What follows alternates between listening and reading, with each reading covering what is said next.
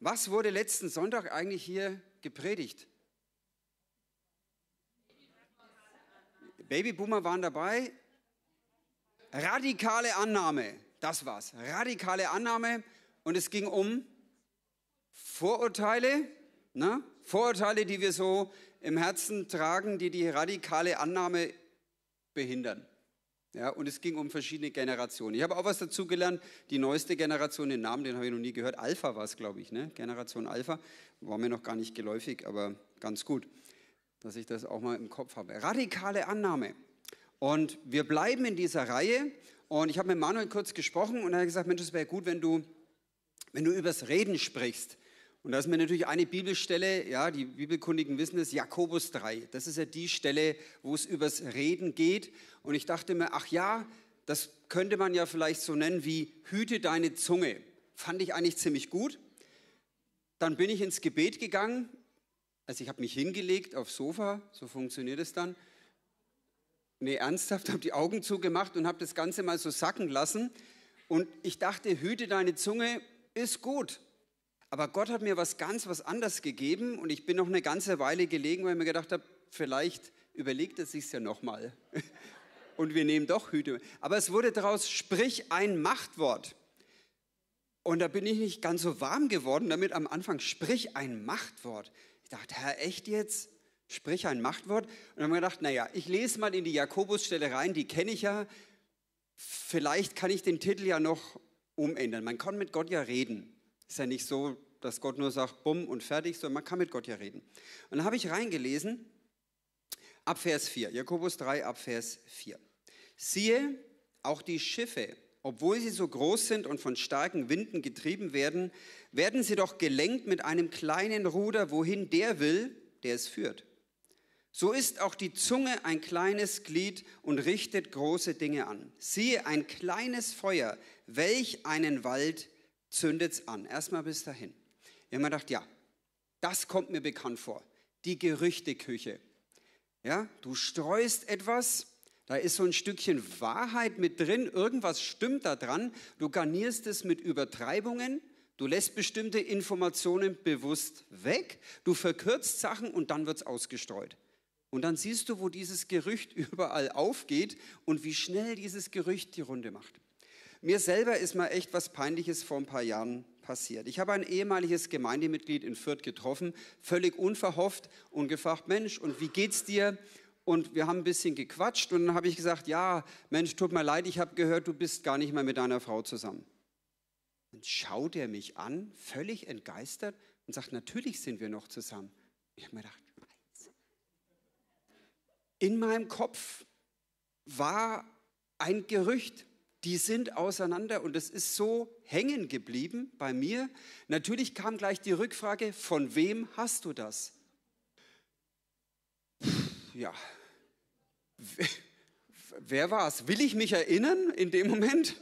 Will ich mich erinnern, weil ich genau weiß, dann wird er mit ihm und es ist Jahre zurück. Ich habe mir gedacht, Andi, wie kriegst du diese Kuh wieder vom Eis? Wollte das Ganze so abschwächen. Er sagt, naja, du, das habe ich gehört damals von verschiedenen. Wer hat dir das gesagt? Gut, irgendwann habe ich dann den Namen genannt und gesagt, vielleicht habe ich da was falsch verstanden. Und irgendwann habe ich gedacht, Andi, hör auf mit dem Gesabbel. Ich habe gesagt, ey, das tut mir echt leid. Ich habe das mitbekommen und ich bin der Sache gar nicht nachgegangen. Und es ist so hängen geblieben in mir. Ja? Und das kann echt etwas kaputt machen. Vielleicht hat er schon längst wieder Frieden darüber gehabt, über diese Sache. Und ich habe das Ganze wieder hochgezogen und habe es brisant gemacht. Wir haben uns dann, wir sind im Guten auseinandergegangen, aber ich habe meine Lektion, glaube ich, wirklich gelernt. So ein Gerücht ist wie ein Lauffeuer. Irgendwo zündet es an und es schwelt. Es brennt sich langsam durch. Es brennt sich vorwärts. Es beschädigt Personen. Es diskreditiert Personen, macht sie unglaubwürdig und verbaut unter Umständen auch Wege. Ja, wenn du ein Gerücht streust, dass jemand vielleicht Dinge entwendet hat in einer Einrichtung und jemand wird dafür bekannt, dass man besser im Raum ist, wenn die Person im Raum ist. Und der hat vielleicht wirklich mal was gemacht, hat sich dafür entschuldigt, ist ein anderer geworden. aber das wissen viele vielleicht gar nicht, dieses Gerücht bleibt und es kann dir Wege in der Zukunft wirklich verbauen. Wir müssen vorsichtig sein mit dem, was wir sagen. Es geht weiter in Vers 6. Auch die Zunge ist ein Feuer, eine Welt voll Ungerechtigkeit. So ist die Zunge unter unseren Gliedern. Sie befleckt den ganzen Leib und zündet die ganze Welt an und ist selbst von der Hölle entzündet. Ja gut, da habe ich gedacht, na also, können Worte so viel Macht haben? Die Welt anzünden und sind von der Hölle entzündet. Kann das sein? Und ich bin auf einen Satz gekommen, der leider mit unserer Gesellschaft in unserem Land sehr viel Unheil angerichtet hat. Und ich würde euch bitten, mal dieses erste Bild einzublenden. Das stand bei uns, die Juden sind unser Unglück. Dieser Satz wurde ausgesprochen, er wurde aufgeschrieben, er wurde plakatiert. Und dieser Satz ist in den Köpfen hängen geblieben.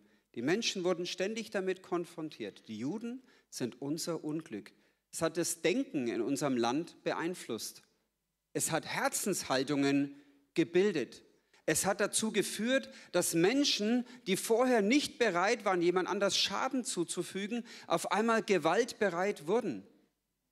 Es hat dazu geführt, dass sich distanziert wurde von Menschen, die man eigentlich gar nicht kannte oder die man doch kannte und auf einmal zurückgetreten ist. Aus welchen Gründen?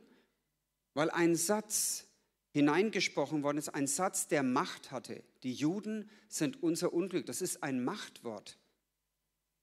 Das ist nicht irgendein Quatsch, den jemand, es ist ein Machtwort. Warum? Weil er eine ungeheure Kraft in unserer Gesellschaft entfalten konnte. Mehr Kraft, als sich viele vorstellen konnten. Es hat letztendlich dazu geführt, dass eine ganze Gruppe unserer Bevölkerung, die Juden, den Machthabern preisgegeben wurden in der NS-Zeit. Man hat sie einfach preisgegeben.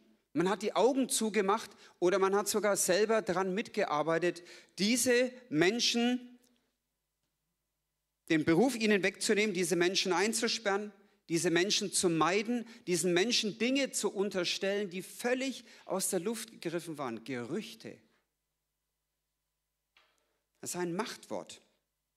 Und als dann in unserem Land Zweifel aufkamen, ob an dieser ganzen Ideologie vielleicht doch einiges falsch ist, als Deutschland 1943 in Stalingrad was eine herbe Niederlage erlitten hat, das Ganze ins Stocken kam und man gedacht hat, die Überlegenheit dieser propagierten arischen Rasse ist vielleicht doch nicht so? Was hat man gemacht? Der Propagandaminister, der Goebbels damals, hat im Sportpalast in Berlin 15.000 ausgesuchte Leute eingeladen und hat eine Rede gehalten mit dem Ziel, Deutschland auf diesen Krieg einzuschwören, diesen Krieg zu intensivieren, diesen Krieg total zu machen. Total heißt, jeder kämpft mit bis zum Sieg und zwar bedingungslos. Und er hat diese Leute eingepeitscht und er hat sie gefragt am Ende, er hat es gebrüllt, ich will das gar nicht hier jetzt brüllen, wollt ihr den totalen Krieg Volksgenossen und Volksgenossinnen, wollt ihr den totalen Krieg? Die Menschen sind aufgestanden, haben ihre Hände nach vorne gestreckt, haben gejubelt und dann kam das eigentliche Machtwort, das eigentliche Wort, was eine ungeheure Kraft entfaltet hat. Ihr kennt diesen Satz, nun Volk, steh auf und Sturm brich los.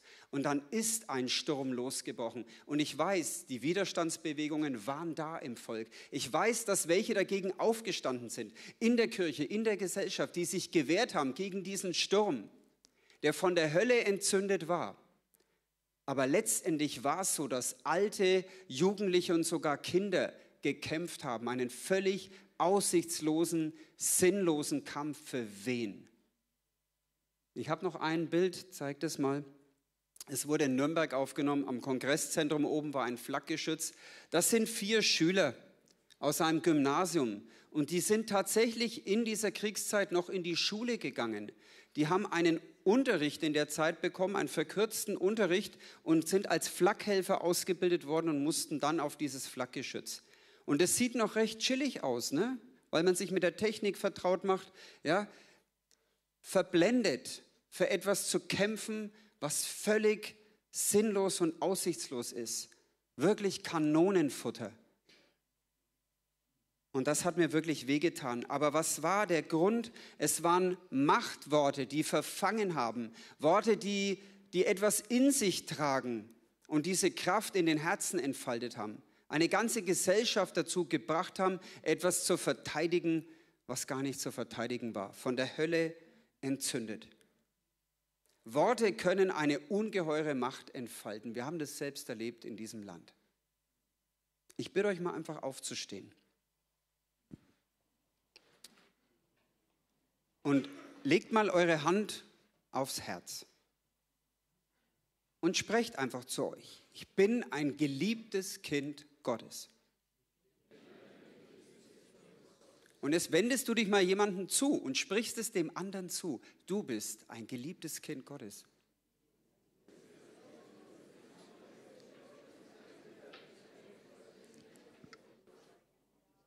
Okay, danke schön. Ihr könnt euch setzen.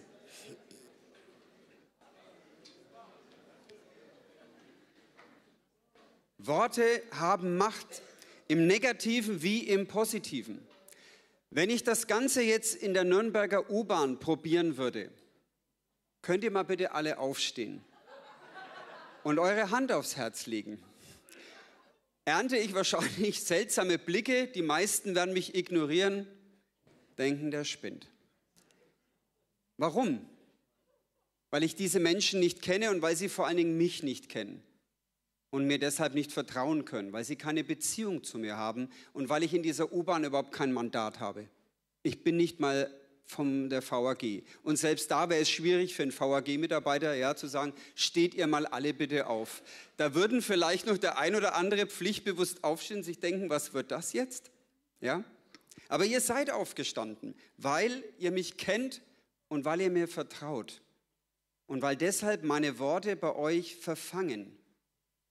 Ihr denkt nicht bis ins Kleine, das war jetzt nicht schwer bei der Aktion, ja. In der Klasse, wenn ich das in der Klasse mache und sage, steht mal bitte auf, stehen alle auf.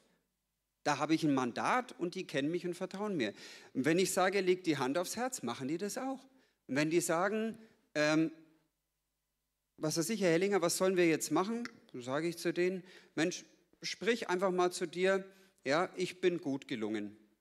Dann sagen die alle, ich bin gut gelungen. Das machen die. Wenn ich sage, stellt euch mal jetzt auf ein Bein dabei und dreht euch im Kreis, machen die das. Warum? Weil ich das sage, weil ich der Lehrer bin und weil irgendwas da dran schon stimmen wird. Warum? Weißt du? Nö, wir machen es mal einfach. Weil es Spaß macht. Versteht ihr? Ich habe Macht, ich habe Einfluss und ich muss aufpassen, was ich mit dieser Macht mache. Ich könnte in meiner Klasse Gerüchte streuen über die anderen vierten Klassen, könnte unsere Klasse zu einer besonderen Gruppe machen, die besser und stärker ist. Und meine Klasse würde mir das irgendwann glauben. Ich könnte meine Klasse positionieren gegen die anderen Klassen. Und sie würden irgendwann glauben, dass das wirklich so ist. Wir müssen so aufpassen mit diesem Einfluss, den wir haben, mit der Macht, die uns gegeben ist und sei es bei unseren eigenen Kindern, in unseren eigenen Gruppen. Worte haben Macht, sind letztendlich oft Machtworte. Sprich ein Machtwort. Das klingt doch erstmal nach Druck ausüben. Ja, sprich ein Machtwort zu Hause, hau mit der Faust auf den Tisch oder in der Schule. Ich habe es letztens gemacht. Die Faust tut noch immer weh. Ich hatte die Schüler so genervt wirklich und, und die Mitschüler auch so furchtbar genervt und wir haben immer wieder versucht, den Gedanken aufzugreifen und fortzuführen und wir stehen als Viertklässler vor dem Übertritt in die nächste Schule. Das ist wichtig im Moment. Ja, und da hat es mir gelangt und ich habe mit der Faust auf den Tisch gehauen und gesagt, du hältst jetzt deine Klappe. Es tut heute noch weh. Es war ein Machtwort und es hat seine Wirkung nicht verfehlt. Es war Ruhe. Aber wir konnten auch nicht konzentriert weiterarbeiten. Irgendwas war an diesem Machtwort nicht gut gelungen. Es kam, glaube ich, aus der falschen Quelle heraus. Machtwort heißt zum Schweigen bringen und verheißt oft Unheil. Ja, richtig. Vers 6 in Jakobus 3, wenn es von der Hölle entzündet wurde. Ein Machtwort verheißt wirklich Unheil, wenn es getrieben ist von Rache und Bitterkeit. Wenn du in einem Zustand der Rache, wenn du also Vergeltung suchst, ein Machtwort spricht, dann wird es Leben zerstören. Da kann eine Wahrheit mit drin stecken, ist völlig egal. Dieses Machtwort wird Leben zerstören. Wenn du ein Machtwort sprichst, getrieben von Angst, dann wird es Menschen verletzen, auch wenn da Wahrheit drin steckt. Wenn du ein Machtwort sprichst, getrieben von Eifersucht, dann kann es Beziehungen zerstören, auch wenn eine Wahrheit darin ist. Wenn du ein Machtwort sprichst, getrieben von Stolz, dann wird es Menschen verführen. Und genau das ist passiert. Wenn aber dieses Machtwort vom Heiligen Geist entzündet wird, dann schafft es Klarheit. Es bringt zur Besinnung. Mir ist Folgendes passiert in der U-Bahn.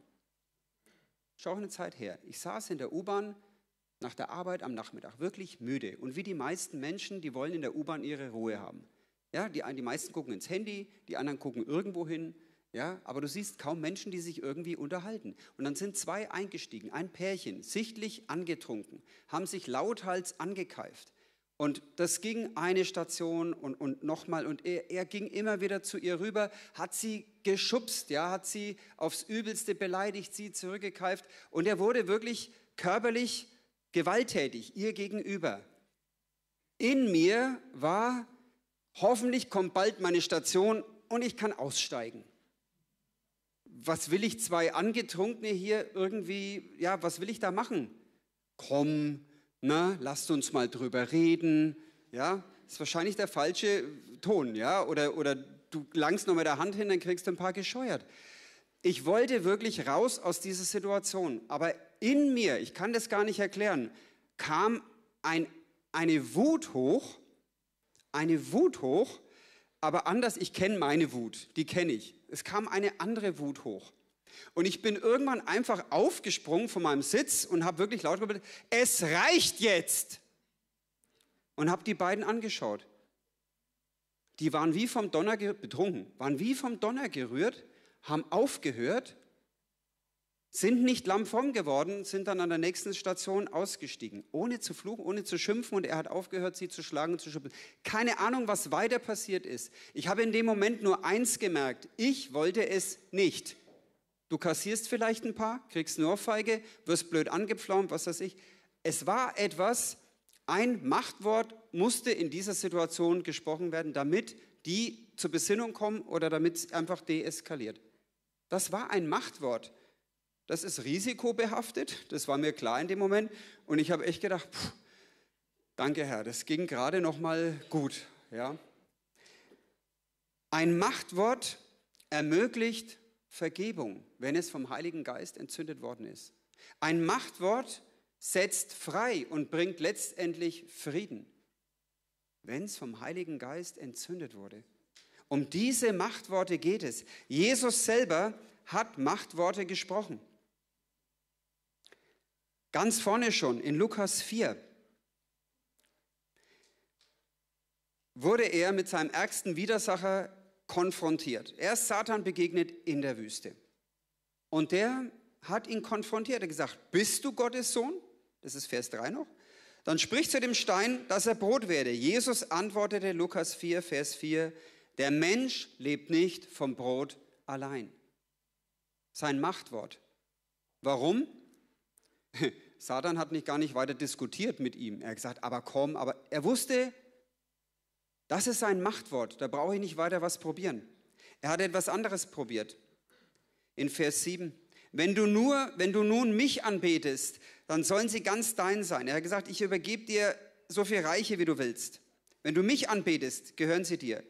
Lukas 4, Vers 8, Jesus spricht, du sollst den Herrn, deinen Gott, anbeten und ihm allein dienen. Machtwort. Punkt. Keine Diskussion mehr. Letzter Versuch von ihm. Er hat gesagt, du kannst dich auf die Zinnen des Tempels stellen, schmeiß dich runter, dir wird nichts passieren. Willst du das nicht mal erleben, jetzt als Mensch?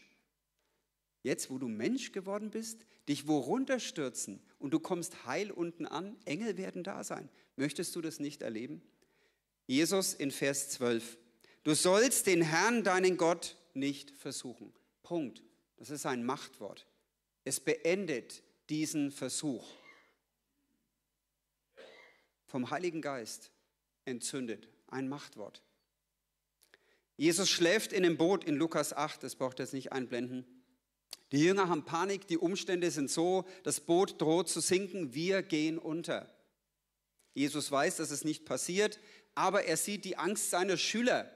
Und manchmal ist es gut, den Schülern zu zeigen, dass man die Situation noch unter Kontrolle hat.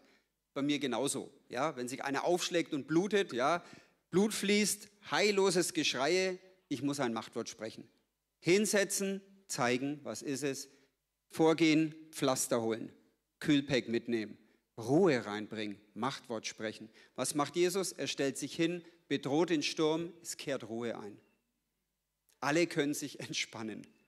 Ja, dieses Machtwort bringt Frieden, bringt nochmal Klarheit. Wer ist der, dem wir uns anvertraut haben? Sogar der Sturm gehorcht ihm. Lukas 4, können wir noch ein bisschen weiterlesen. 33. Lukas 4, 33. Es war ein Mensch in der Synagoge besessen von einem unreinen Geist und der schrie laut, Halt, was willst du von uns, Jesus von Nazareth? Du bist gekommen, uns zu vernichten. Ja, das stimmt in dem Fall. Ich weiß, wer du bist, der Heilige Gottes. Jesus bedrohte ihn und sprach, verstumme, fahre aus von ihm. Der böse Geist warf ihn mitten unter sie, fuhr von ihm aus und tat ihm keinen Schaden. Das ist ein Machtwort. Ein Mensch, der die Kontrolle über sich verloren hat. Dem kannst du nicht sagen, beherrsch dich, reiß dich zusammen. Es geht nicht. Der ist außer sich. Heutzutage würden wir den in eine Klinik einweisen und ruhig stellen. Das sind unsere Methoden, das können wir ruhig stellen und sedieren heißt es, glaube ich, immer, ne? so, dass der da nicht rumtobt. Und versuchen mit Gesprächen seine Psyche wieder auf die Reihe zu kriegen. Jesus hat gesehen, was los ist und hat ein Machtwort gesprochen. Da ist etwas in dir, was raus muss. Können wir gleich weiterlesen. Vers 36. Es kam eine Furcht über sie alle und sie redeten miteinander und sprachen, was ist das für ein Wort? Er gebietet mit Vollmacht und Gewalt den unreinen Geistern und sie fahren aus. Und die Kunde von ihm erscholl in alle Orte des umliegenden Landes. Vers 38. Er machte sich auf aus der Synagoge und kam in Simons Haus. Und Simons Schwiegermutter hatte hohes Fieber und sie baten ihn für sie. Er trat zu ihr, gebot dem Fieber und es verließ sie. Und sogleich stand sie auf und diente ihnen. Das finde ich auch cool, ne? Liegt mit hohem Fieber, ja, ist echt geschlaucht. Jesus kommt, spricht, das Fieber weicht und was macht sie? Sagt, boah, jetzt muss ich erstmal ausruhen. Nein, gleich, los geht's. Was ist zu tun? Ne? Also pass auf, wenn du krank bist und betest, wenn du schlagartig gesund wirst, geht es gleich wieder los mit, mit Arbeit und mit was tun. Jesus hat ein Machtwort gesprochen und Krankheit ist gewichen. Jesus hat ein Machtwort gesprochen, Mächte der Finsternis sind gewichen. Naturgewalten haben sich beruhigt. Den toten Lazarus hat er herausgeholt. Er hat erst noch lange gewartet, bis der wirklich tot war. Lest die Geschichte nach. Der hätte schneller kommen können. Und alle haben gesagt, Mensch, wärst du früher gekommen? Jesus, warum bist du so spät gekommen? Du hättest ihn vorher abpassen können, weil Kranke gesund machen, das kannst du. Das haben wir erlebt. Nein, Jesus wollte etwas anderes zeigen. Ich habe Macht über den Tod. Der Tod muss mir gehorchen. Er stinkt schon. Mach das nicht. Jesus sagt, Lazarus, komm heraus. Tod, gib ihn wieder her. Ob der nun Spaß hatte, da wieder zurückzukommen, ja, oder ob es für ihn besser gewesen wäre, da zu bleiben. Manchmal ist es wieder ins Leben kommen auch nicht lustig. Ganz ehrlich. Na? Johannes, schwing, Hannelore. Im Koma gelegen. Jesus sagt, ich freue mich auf dich. Wir beten. Johannes kommt zurück ins Leben. Ja, wenn ich ins Leben zurückkomme, weiß ich, ich habe zig Knochenbrüche, ich muss Medikamente nehmen. Es wird hart, aber ich habe eine wunderbare Frau. Okay, ich komme zurück. Ja, ist so. Du kannst, du musst dich entscheiden. Er hat eine wunderbare Frau. Er ist zurückgekommen. Wir haben Segen durch ihn. Viele Paare haben Segen durch euch beide bekommen. Preis den Herrn, dass er da ist. Aber es war eine Entscheidung. Es war eine Entscheidung für ihn. Kleine Kinder kommen. Eltern wollen, dass Jesus die Kinder segnet. Die Schüler sagen, Mensch, stört unseren Meister nicht. Er hat wichtige Dinge zu tun. Ja? Jesus spricht ein Machtwort.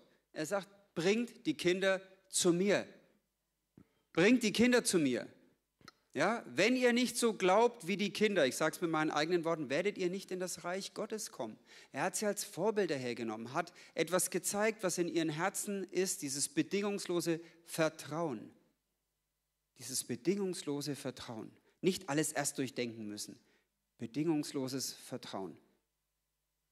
Es ist ein Machtwort gewesen. Ja, du sagst jetzt vielleicht, bin ich Jesus? Was für ein Machtwort soll ich sprechen? Soll ich wieder Tote auferwecken? Ja, Kranke, naja gut, darüber können wir reden. Ne?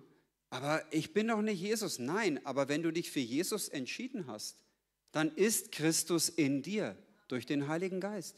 Es ist derselbe Heilige Geist, den Jesus hat. Christus in dir.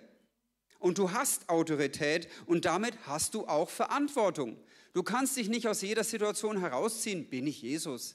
Du kannst dich nicht immer drücken. Du musst dieser Verantwortung auch gerecht werden und dich mal hinstellen und ein Machtwort sprechen. Die wichtigste Lektion aber möchte ich dir da mitgeben. Lerne erstmal Machtworte zu deiner eigenen Seele zu sprechen, bevor du den Lehrmeister für andere Menschen machst. Nochmal, lerne erstmal Machtworte zu deiner eigenen Seele zu sprechen bevor du den Lehrmeister für andere machst.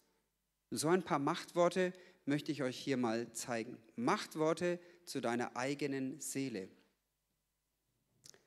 Können wir mal das erste einblenden.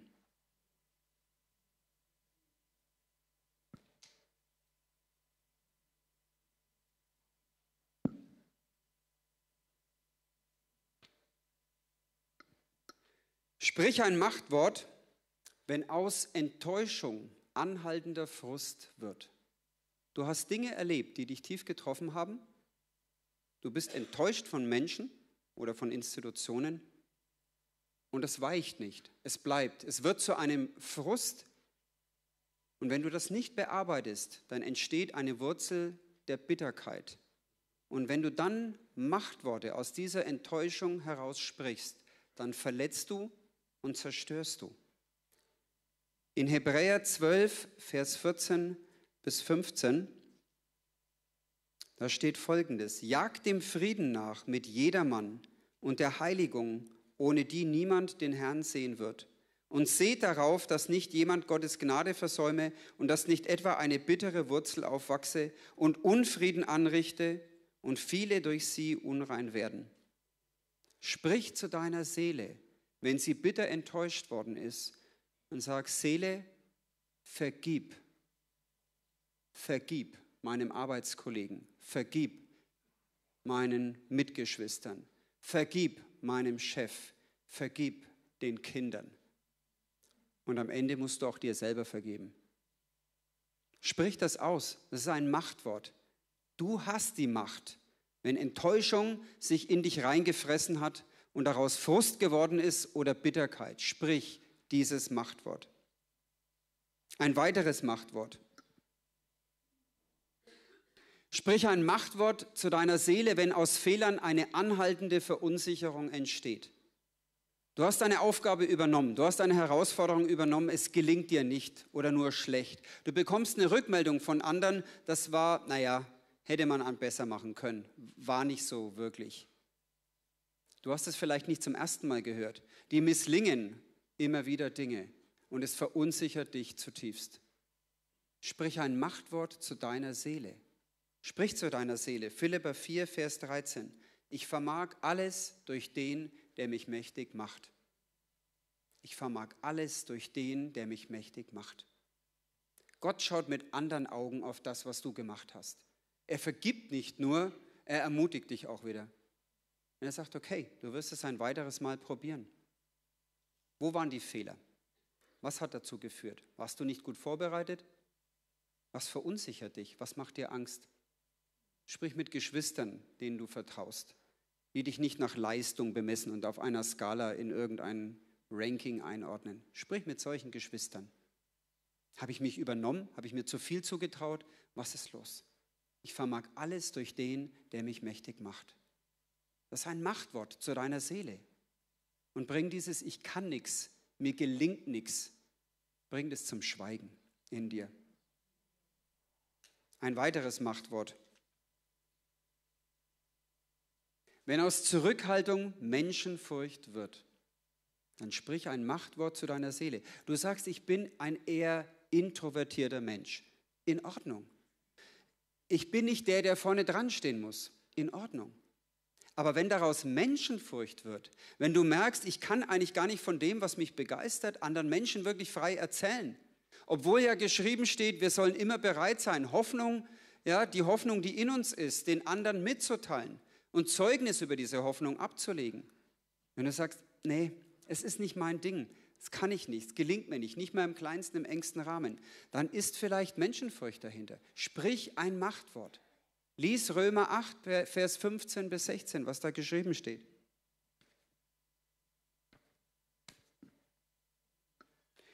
Da steht, denn ihr habt nicht einen knechtischen Geist empfangen, dass ihr euch abermals fürchten müsst, sondern ihr habt einen kindlichen Geist empfangen, durch den wir rufen, aber, Papa, lieber Vater. Der Geist selbst gibt Zeugnis unserem Geist, dass wir Kinder Gottes sind. Dann geh erst mal zu deinem himmlischen Vater und sag, Vater, was ist los mit mir? Ich spüre immer so eine Beklemmung, da bremst mich irgendwas. Und dann wird Gott erstmal daran arbeiten, dass du das erfassen kannst, was hier geschrieben steht. Du bist ein Kind Gottes, du bist geliebt, angenommen. Gott hat ein Erbe für dich, Gott hat einen Plan für dich. Gott rechnet mit dir. Und du kannst zu ihm Vater sagen. Und dann steht in 2. Timotheus 1, Vers 7 noch, du hast nicht einen Geist der Furcht bekommen, sondern einen Geist der Kraft und der Liebe und der Besonnenheit. Und das ist diese wunderbare Kombination, die du brauchst. Kraft Liebe und Besonnenheit. Das heißt nicht Lautstärke. Kraft heißt nicht immer Lautstärke. Nicht die, die am lautesten schreien, ja, haben das Wichtigste zu sagen. Kraft, da kann eine Überzeugung drin liegen, die man spürt. Liebe hat immer den anderen im Blick, dem, dem du etwas zusprichst, dass der vorwärts kommt, dass der gesegnet wird. Und das spürt man. Wir haben heute früh gebetet im Gebetsabend. Der Klaus, die Erika Roscher und, und ich und die Irmgard. Jeder hat eine andere Art zu beten. Nicht der, der am lautesten ruft, hat die meiste Kraft. Wenn die Erika betet, dann spüre ich eine Ernsthaftigkeit, eine Tiefe und eine Kraft in diesem Gebet. Da ist Kraft und da ist Liebe für die Menschen und da ist Besonnenheit drin. Und das sind Machtworte, die können ganz leise gesprochen werden. Sie werden Gutes bewirken. Noch ein Machtwort.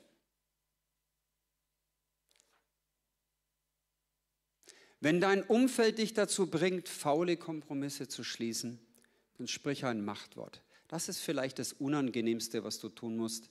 Ja, wenn alle in der Gruppe oder die meisten in der Gruppe, ja, so machen wir das. Und du sagst, da kann ich nicht mit.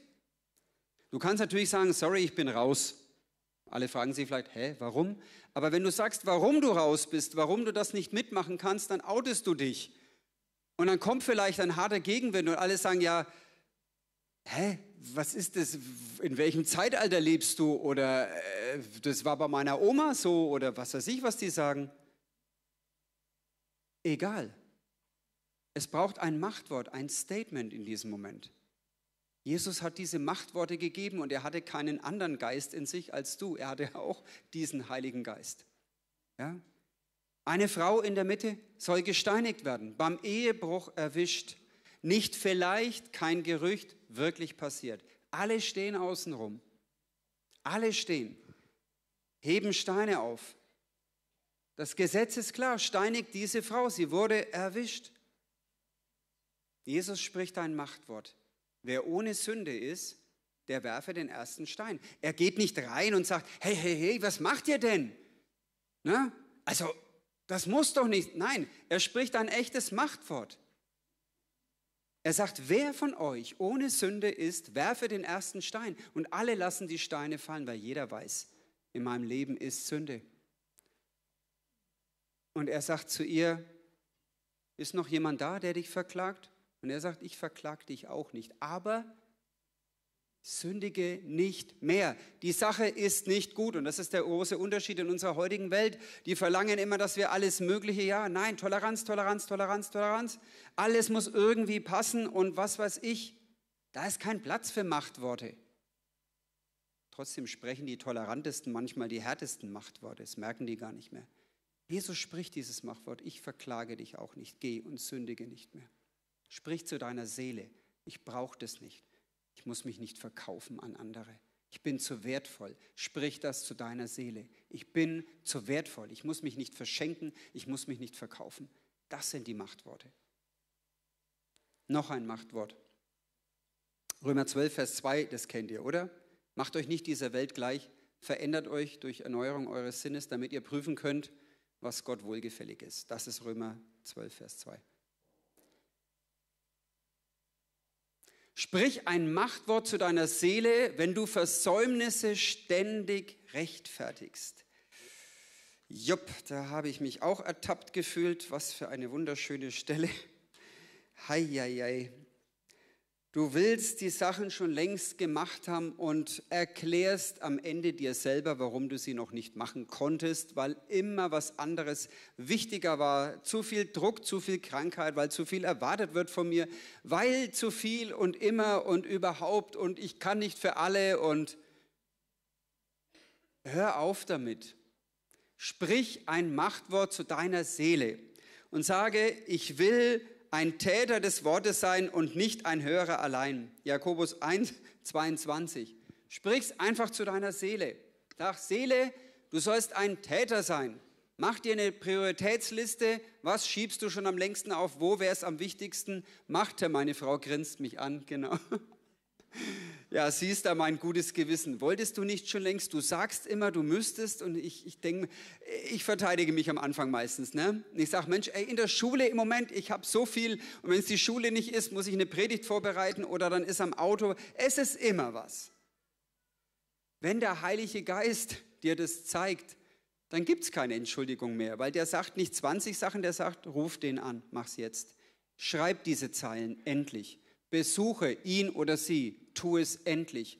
Du willst das ausformulieren, setz dich hin. Jetzt ist ein guter Zeitpunkt. Mach es doch unter der Leitung des Heiligen Geistes. Dann wirst du merken, dass immer noch Menschen unzufrieden sind, weil irgendjemand, wie soll ich sagen, jeder denkt, das ist wie mit den Schülern, die stellen sich immer, jeder will der Erste vorne sein. Also ich zuerst, ich, ich, ich.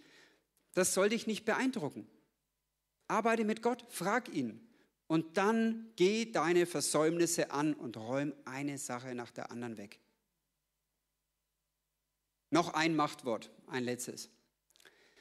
Sprich ein Machtwort zu deiner Seele, wenn Zorn dein Handeln lenkt. Jakobus 1, Vers 20. Denn des Menschen Zorn tut nicht, nicht, nicht, nicht, was vor Gott recht ist des Menschenzorn.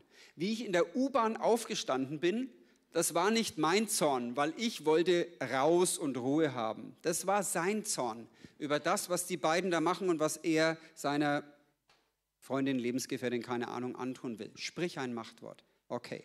Aber mein Zorn, meistens geboren aus Eifersucht, aus Stolz, aus Angst, ja, aus Vergeltungsgedanken, da kommt nichts Gutes bei raus. Nenne das nicht heilig, was Gott auch nicht heilig nennt.